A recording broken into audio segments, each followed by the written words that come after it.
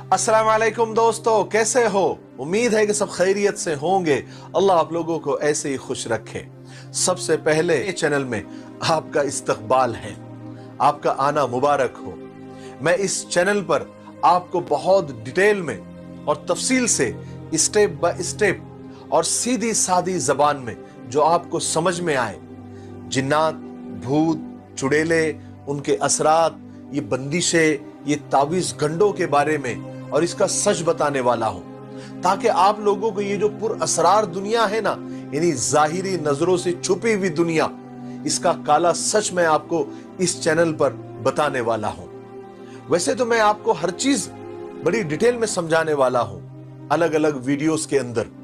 कि ये जिन्नात क्या होते हैं, खबीस जिन्नात क्या होते हैं, नेक जिन्नात क्या होते हैं, चुड़ेले क्या होती है, इनके असरात होते हैं या नहीं होते हैं? ये लोगों को तकलीफ़ देते हैं, उनके अंदर घुस जाते हैं या नहीं घुसते हैं? या सिर्फ़ ये एक भ्रम है या एक वहम है?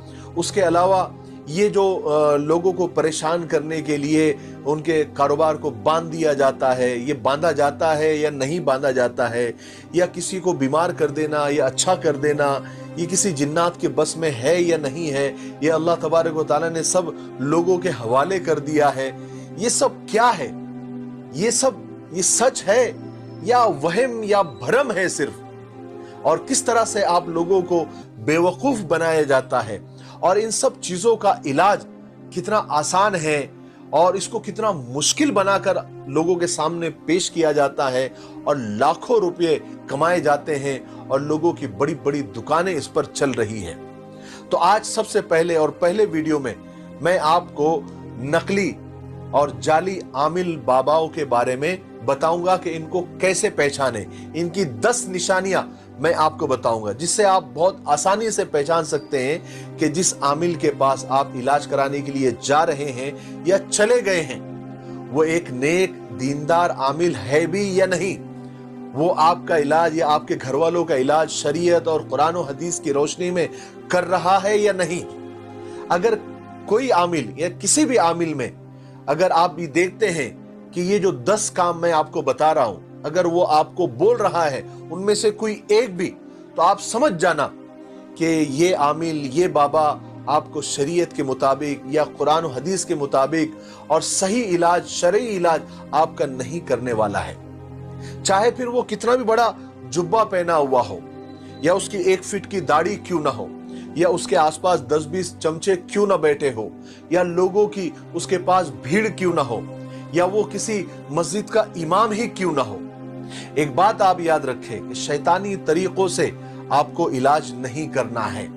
हो सकता है एक आध बार आपकी तकलीफ़ कम हो जाए या खत्म होने जैसी आपको लगे, लेकिन जहाँ पर आपके ईमान और अकीदा जो है बिक जाए, ये सबसे महँगा सौदा है।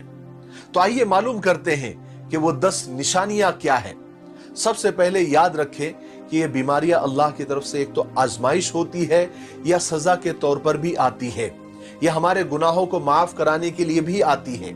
इसलिए बीमार की और बीमार के सरपरस्तों की यह ज़िम्मेदारी है कि वो सब्र करें।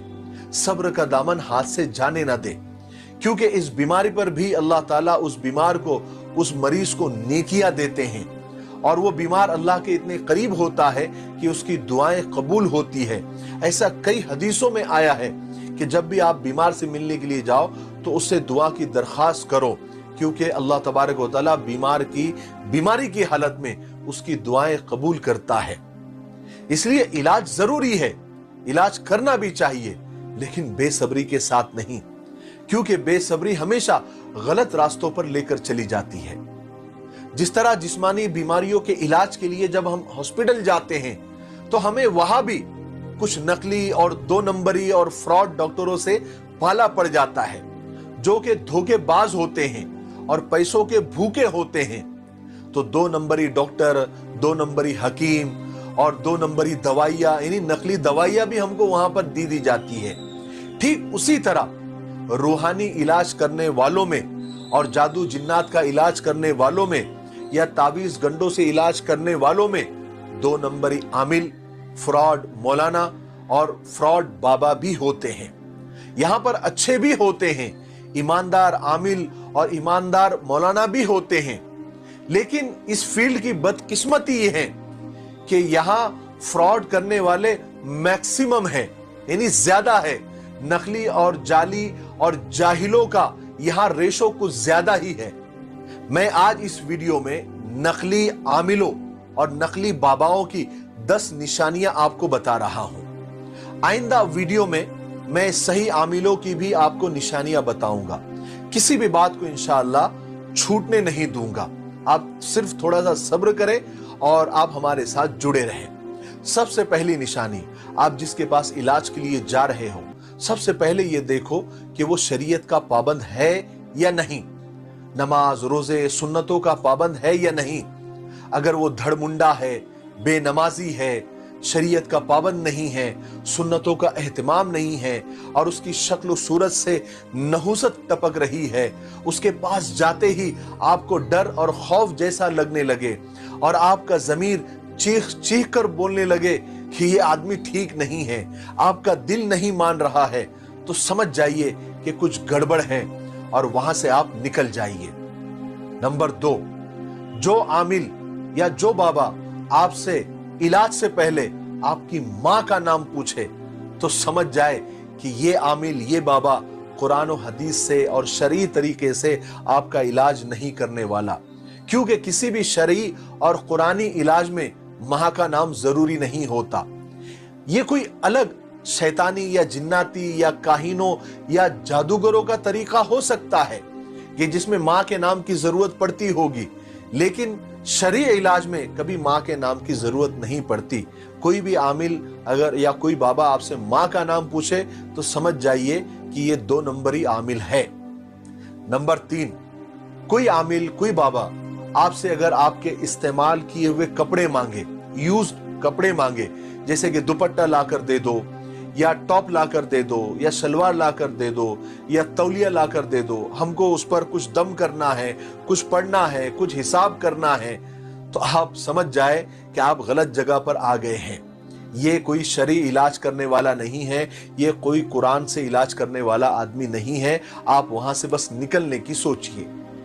नंबर चार, अगर कोई बाबा, कोई आमिल आपसे जानवर मांगे कि बकरा लेकर आओ, मुर्गा लेकर आओ काली मुर्गी लेकर आओ, गोश्त लेकर आओ, या फिर इस गोश्त को ले जाकर वीराने में, सन्नाटे में फेंक दो, या बगैर बिस्मिल्लाह के जानवर जुबा करके लाओ, या फिर जानवर का खून लेकर आपके जिस्म पर छिड़के, या इस तरह की कोई भी उठपटांग हरकतें करे, या आपसे करवाए तो आप समझ जाए कि ये कोई आमिल नहीं है, या कोई कुरानी इलाज नहीं कर रहा है, ये कोई शैतानी तरीके से आपका इलाज करने वाला है। नंबर पाँच, कोई आमिल, कोई बाबा ऐसा कोई मंत्र पढ़ रहा हो जो आपके समझ में भी नहीं आ रहा हो, या जिसके माना, जिसके मतलब कोई पढ़ा लिखा आदमी भी समझ ना पाए, जो कुरान और हदीस की आयतें भी ना हो तो समझ जाए कि ये बाबा बाबा नहीं है, बल्कि शैतान का भाई है। नंबर छह, अगर कोई आमिल, कोई बाबा आपको कोई ऐसा तावीज बना के दे, जो आपको फ़ोटो में दिख रहा है कि जिसमें सिर्फ़ खाने खाने बने हुए हैं, या कोई अजीब से नंबर लिखे हुए हैं, या अजीब अजीब तस्वीरें, अजीब अजीब शक्लें बनी हुई है, या फिर आप किसी किसी तावीज में आप देखेंगे, जैसे आप फ़ोटो में देख रहे हैं कि उस पर अल्लाह के दुश्मनों के नाम लिखे हुए होते हैं, जैसे फिरौन, हमान, कारून, अबू जहल, अबू लहब, ये तावीज आपको बना कर देते हैं इलाज के लिए, और बोलते हैं इसको गले में लटका के घूमो, आप अच्छे हो जाएँगे। ये क्या तुक बनता है? कि हम अल्लाह के दुश्मनों के नाम गले में लेकर घूमे या बाजू में बाँध कर या कमर में बाँध कर घूमे, ये कौन सा इलाज है? आप समझ जाए ये कोई शैतान है, कोई जादूगर है जो बहुत सफ़ेद लिबास में बैठा है और अच्छी खासी दाढ़ी उसने रखी हुई है, लेकिन ये शैतान है, जादूगर है और ये कोई शरे इलाज आपका नहीं कर रहा है। नंबर सात, कोई आमिल, कोई बाबा अगर आपको ऐसा इलाज बताए कि आपको 40 दिन तक लोगों से नहीं मिलना है। मैं ये तावीज दे रहा हूँ, आपको 40 दिन किसी के घर भी नहीं जाना है, खास करके जहाँ पर मैयत हो गई हो, या फिर ऐसे भी घर में नहीं जाना है जहाँ अभी अभी बच्चे की पैदाइश हुई है, वरना फिर मेरा ये तावीज असर नहीं करेगा। और आपको सात दिन, पंद्रह दिन, इक्कीस दिन या चालीस दिन आपको पानी से दूर रहना है, पानी को हाथ भी नहीं लगाना है, चाहे आप पर गुसल फ़र्ज़ हो जाए। इस किस्म की पाबंदियाँ अगर कोई बाबा, कोई आमिल लगाता है तो समझ जाए कि ये इलाज कोई कुरानी इलाज नहीं है, कोई शरीयत वाला इलाज नहीं है, सही इलाज नहीं है, होशियार हो जाए। ऐसे लोगों से इलाज कराने में बीमारियाँ और परेशानियाँ, मुसीबतें कम नहीं होती, बल्कि बढ़ जाती हैं। नंबर आठ, कोई आमिल, कोई बाबा, अगर आपसे ये कहे कि ये तावीज ले जाकर कब्रस्तान में लटका देना है, या किसी वीराने में किसी दरख्त पर जाकर इसको लटका देना है, या कहीं फेंक देना है, या कहीं दफन कर देना है, या कोई आपको कहे कि इसको धोनी दे दो, यानी इसको जलाना है। याद रखे, ये धोनिया, ये हांडिया जलाना, ये कोई शरीय इलाज नहीं है, ये सब शैतानी तरीके हैं। कुरान और हदीस से इसका कोई ताल्लुक नहीं है। नंबर नौ, अगर कोई आमिल या कोई बाबा आपसे कोई ऐसी चीज़ डिमांड करे जो आम तौर से आसानी से नहीं मिलती, दुकानों पर नहीं मिलती। जैसे हिरन की कस्तूरी लेकर आओ, हिरन की खाल लेकर आओ, शेर की चर्बी लेकर आओ फलाने जानवर के नाखून लेकर आओ। अब ये चीज़ें आमतौर से दुकानों में मिलती नहीं है, आसानी से मिलती नहीं है, और अगर मिल भी जाए तो महँगी मिलती है। बीस हज़ार, चालीस हज़ार, पचास हज़ार एक एक लाख रुपए तक वो चीज़ें मंगवा लेते हैं। हालाँकि इनसे उनको कोई काम नहीं होता है। ये उनका एक साइड बिज़नेस होता है। वो क्या करते हैं कि वो सब चीज़ें आपके पास से ले लेते हैं और आपको बेवकूफ़ बना देते हैं कि हमने उस पर इलाज कर दिया, आपका हो जाएगा, जो भी है, बोल देते हैं। फिर वो चीज़ें वो बाहर बेच देते हैं, मार्केट में बेच देते हैं, महँगे दामों पर बेच देते हैं। और अगर कोई नया मरीज़, नया बीमार आता है, नया कस्टमर आता है, ये उनके लिए कस्टमर है। आप तो बीमार हैं, आप परेशान हैं, लेकिन उनके लिए आप कस्टमर हैं। तो फिर आपसे भी वही चीज़ें डिमांड करेंगे। फिर अगर आप बोलते हैं या उनमें से कोई अगर ये बोलता है कि, बाबा, वो चीज़ें कहाँ मिलेंगी? बड़ी मुश्किल है, हम कहाँ से लाए? तो फिर वो बाबा क्या करते हैं, अपने ही किसी चमचे का एड्रेस या नंबर दे देते हैं कि आप जाओ उनके पास मिलेगा। फिर वो वहाँ से पैसे देकर लेकर आते हैं, फिर ये वापस वहाँ पहुँचा देते हैं। ऐसा इनका साइकिल चलता रहता है और ये लाखों रुपए लूटते रहते हैं, कमाते रहते हैं। जो कोई आमिल, कोई बाबा अगर आपसे कोई ऐसी अनोखी एंटिक चीज़ आपसे मांगे तो समझ जाए कि ये कोई बाबा नहीं है, कोई आमिल नहीं है, ये बहुत बड़ा लुटेरा है। वहाँ से आप भाग जाए। नंबर दस, अगर कोई आमिल, कोई बाबा औरतों को टच करके, औरतों को हाथ लगा के इलाज कर रहा है, या कोई मालिश करने वाला अमल कर रहा है, या बोल रहा है कि ऐसी मालिश करनी पड़ेगी तो खतरे की घंटी है। ऐसे बाबाओं से, ऐसे आमिलों से खुद भी बचें, अपनी फैमिली को बचाएँ, और अपने माँ बहनों को और बीवियों को इन खबीसों से बचाएँ। ऐसा कोई ऐसा कोई इलाज हो ही नहीं सकता कि जो किसी नामहरम को टच करने का बोले या हाथ लगाने का बोले, शरीयत तो देखने को भी मना करती है। तो ये हाथ लगाकर या मालिश करके कौन सा इलाज होता है? ये सब फ्रॉड है, ये सब धोखा है, फरेब है। ऐसे कई आमिल, ऐसे कई ढोंगी बाबा जेल की हवा खा रहे हैं और रेप की सजाएँ काट रहे हैं। तो ऐसे अगर बाबा आपको मिल जाए या ऐसे आमिल के पास आप गलती से, धोखे से पहुँच जाए तो उल्टे पाँव भागे आप वहाँ से। आप थोड़े दिन बीमार रहेंगे, वो अच्छा है कि आप अपने ईमान का, अपने अकीदे का और अपनी इज़्ज़त का सौदा कर देंगे। हरगिज नहीं। मुझे उम्मीद है कि आज की ये दस निशानियाँ आपको ज़िंदगी में बहुत काम आएगी।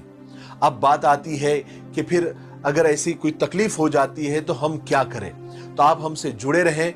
मैं आपको हर चीज़, पहले इसकी हकीकत पे रोशनी डालूँगा कि ये होता है या इस तरह के बीमारियाँ होती है, इस तरह के असरात होते हैं होते हैं तो कैसे होते हैं और इसका आसान इलाज क्या है? कुरान की वो कौन सी आयतें हैं? वो कौन से वजीफे हैं कि जिससे हम घर बैठकर भी इन चीज़ों का इलाज कर सकते हैं? मैं इंशाल्लाह स्टेप बाय स्टेप आपको बताने वाला हूँ। तो आप हमसे जुड़े रहें मेरे लिए, पूरी उम्मत के लिए और पूरी इंसानियत के लिए खैर और भलाई की दुआ करते रहें। अस्सलाम वालेकुम वरहमतुल्लाहि वबरकातुहू